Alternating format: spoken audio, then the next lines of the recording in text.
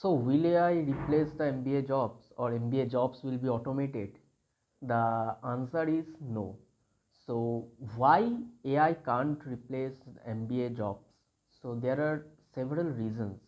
So, obviously, I am talking about AI right now, means uh, future possibilities of what AI can do. Uh, that's not beyond our understanding. So, let's understand this so as per now ai can't replace the mba job especially so why so? Look uh, ai can uh, replace or automate such things which have some sort of repetitive patterns. If there is no repetitive patterns then ai can't uh, provide some valuable output. So let's understand this with an example in case of ai or maybe whatever we can say that uh, machine learning deep learning. So the overall objective is to find out a pattern uh, from the object. Just like if uh, there is a bottle then the ai try to find the pattern. Means the shape is like that it's look like this. So in such way just like if we if the ai want to identify a cat then the cat uh, faces like this and there are some uh, uh, uh, eyes which are which the colors is different. So in such a way ai can uh, predict something or make something uh, or make, make such ta task automated. So if there is some repetitive patterns are there means straight cut inherent rules are there then obviously i can automate or ai can't can replace uh, the job. But uh, if you look at the perspective of an mba the typical mba skills are quite different. Uh, the skills uh, are generally useful uh, as per the situation.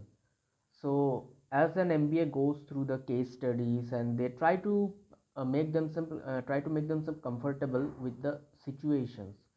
So uh, where there is no such patterns where there is every time there is a new situation where there is critical thinking. This is one of the most demanded skill in mba so critical thinking and problem solving. So in such case where the thought process need to be different uh, where creativity is needed in such cases in such a in such uh, jobs i think human interruptions is uh, must. Uh, because without human uh, ai can't find out any pattern and without any pattern or repetitive task it can't predict anything. So in mba uh, the jobs are secured as of now because there are uh, situation there are different types of situations which a companies or firms go through and uh, humans need to understand and predict uh, such things and also they need to take some action based on the situation not because of their past uh, patterns or something. Because every time the situation is different the world is changing very fast.